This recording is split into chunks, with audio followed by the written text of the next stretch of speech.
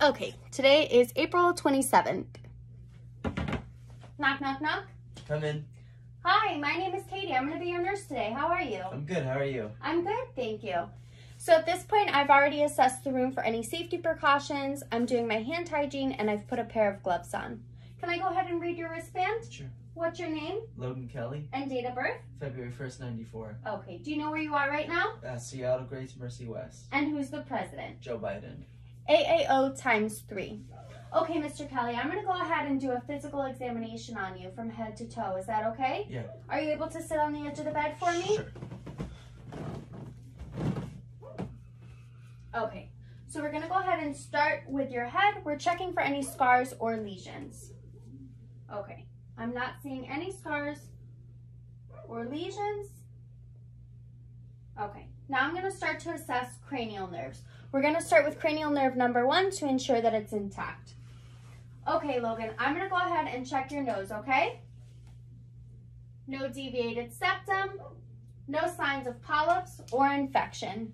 Now we're going to go ahead and do a smell test. So I'm going to have you close your eyes and cover one nostril. I'm going to give you something to smell and you tell me what it is, okay? Okay. Okay, and what do you smell? Blueberry. Okay, same thing with the other side. And what do you smell? Vanilla. Okay, great. Cranial nerve number one, olfactory is intact. Okay, now I'm gonna go ahead and check your eyes. So I'm gonna have you focus on me. Sclera is white, conjunctiva is pink and moist. Pupil size is two millimeters. Do you wear any glasses or contacts? No. Okay, now I'm gonna go ahead and check your accommodation, okay? Can you read my badge? Katey Kelly. And the sign on the wall? Exit. Okay, great. Now I'm gonna have you focus on me and I will flash my pen light in your eyes. Okay?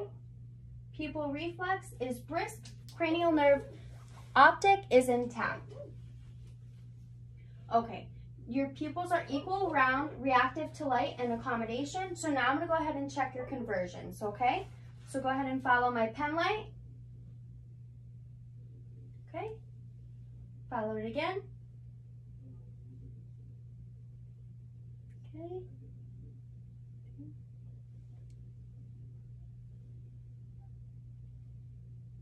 Okay. Cranial nerve number three, oculomotor. Cranial nerve number four, trochlear. And number six, abducens is intact. Okay, Logan, now I'm gonna go ahead and check your face, okay? Okay. Do you have any pain here? No. Under your eyes? No. Okay, go ahead and swallow for me. Cranial nerve number five, trigeminal, is intact. Go ahead and smile for me. Puff your cheeks, raise your eyebrows, and close your eyes. Close them tightly. Okay. Cranial nerve number seven, facial, is intact. Do you have any hearing problems? No. Do you wear any hearing aids? No. Okay, now I'm gonna go ahead and check your ears, okay? Okay. So I'm gonna start by pulling his ears up and back, checking for any signs of infection or drainage. Up and back. Okay, great. Now we're gonna do a whisper test. So I'm gonna have you cover your left ear and I'm gonna whisper something behind your right ear and you're gonna tell me what I say, okay? Okay. Blueberries. Okay, same thing with the other side. School bus. Okay, great. Cranial nerve number eight, acoustic is intact. Okay, Logan, now I'm gonna go ahead and check cranial nerves number nine, 10, and 12. Go ahead and open your mouth for me. Say ah, Ah. swallow, and then go ahead and cough. okay. Cranial nerve number five, nine, glossopharyngeal, and number 10, vagus is intact. Stick your tongue out for me. Move it to the right, to the left.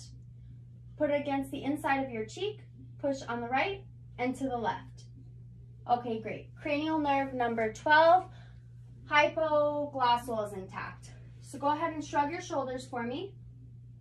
Push up against my hands. Okay. Cranial nerve number 11, spinal accessory is intact. Okay, Mr. Kelly, now I'm to have you follow and do what I do, okay? Put your head down, flexion, all the way up, extension, all the way to the ceiling, hyperextension.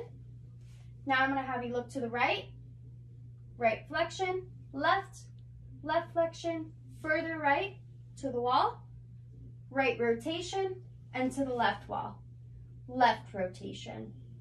And go ahead and turn your head all around for me. Circum. Now I'm to have you lay back down and turn your head to the right. Okay. I'm going to use the bell of my stethoscope to listen for any brooding.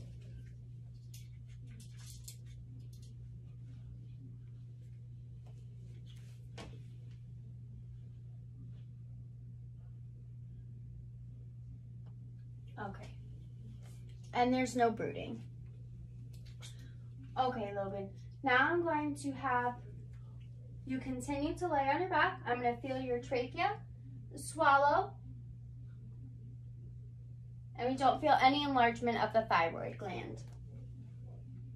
Now I'm going to go ahead and listen to your lungs. Are you able to take your shirt off for me? And come sit at the edge of the bed.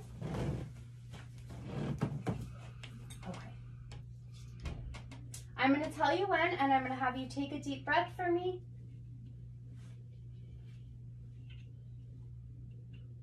Okay. We're going to start over your trachea. Take a deep breath. And let it go. For bronchial sounds. Now we're going to start over the clavicle. Take a deep breath in.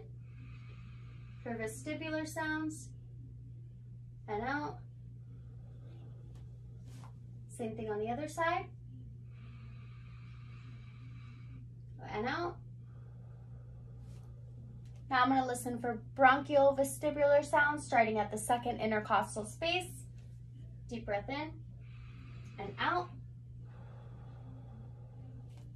Second intercostal space, deep breath in and out.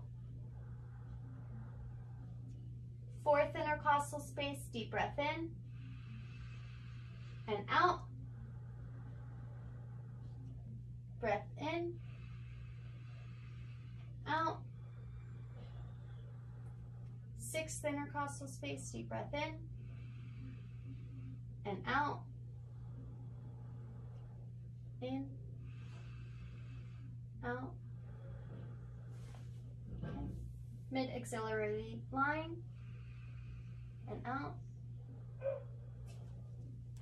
mid-axillary line, in and out. Okay?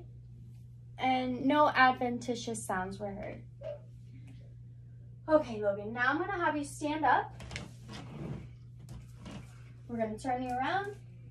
We're gonna do breath sounds on the back, okay?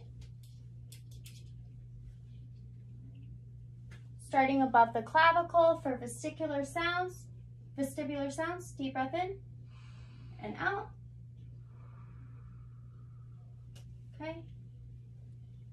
In and out. Second intercostal space alongside the scapula. Deep breath in and out. In. Out. Fourth intercostal space. again.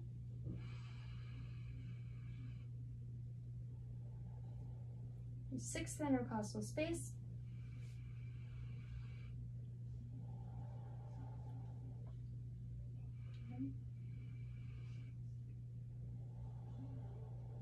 Okay, great. An axillary line.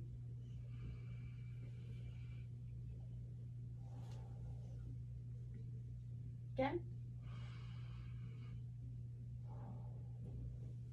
Now we're going to listen to heart sounds. First, I'm going to check his AP diameter, which is less than half of the width of his chest. Okay, now I'm going to start listening to your heart sounds, okay? okay. We're going to start at the aorta, which is the second intercostal space right of the sternal border. Moving over to pulmonic, second intercostal space, left of the sternal border.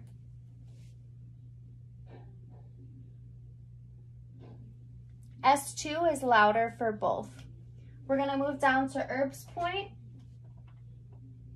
fourth intercostal, third intercostal space, where S1 and S2 are equal. Tricuspid, fourth intercostal space. S1 is louder. And moving down to mitral, which is the fifth intercostal space, left of the sternal border. This is the point of maximal impulse, which is the middle clavicular line. Here we would listen to the heartbeat for one full minute for apical pulse. After one full minute, we're at 65 beats per minute. So now I'm gonna inspect your abdomen. So you can go ahead and lay back down. And when I'm checking out his abdomen, we're gonna do look, listen, and feel. So inspection, auscultation, and then palpitation. So I'm first checking for any scars or lesions, which I don't see. And now I'm going to start by listening to his abdominal aorta between his xiphoid process and the umbilicus about halfway through. I'm going to use the bell of my stethoscope to listen for any bounding pulses. So xiphoid process, umbilicus, halfway through.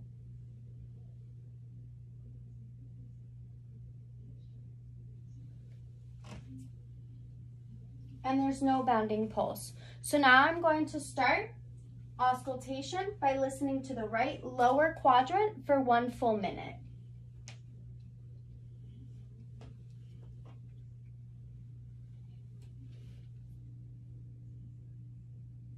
After one full minute, I would move up to the right upper quadrant,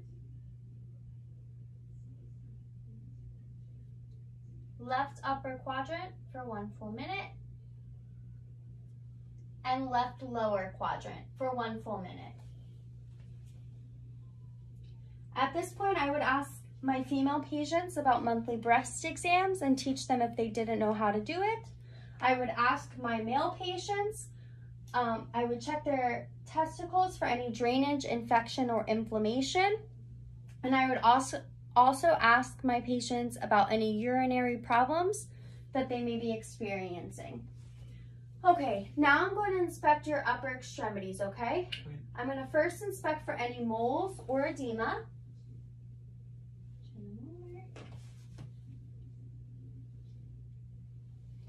Okay, great. And now I'm going to have you do what I do, okay?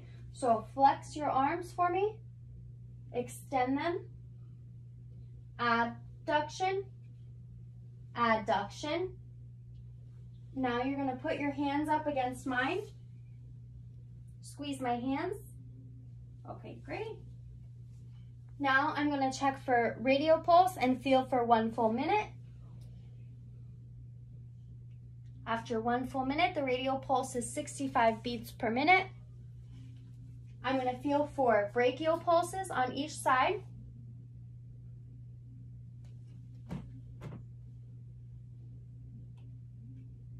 and radial? Okay, great. So both brachial and radial are 2 plus equally palpable bilaterally. Okay, Logan, now I'm going to do a touch test, okay? So I'm going to have you close your eyes. I'm going to touch you with my pen light, and you're going to tell me where I've touched you, okay? Left hand. Right shoulder. Left elbow. Okay, great. All right, now I'm gonna have you stand up. Walk in a straight line for me. And back. Okay, great. Now I'm going to uh, check my patient's back, inspect for any moles and I'm going to also check any bony prominences. So this is going to be the shoulders, the back of his head, the back of his ears, and his sacrum. Okay? And I would also check the back of his ankles.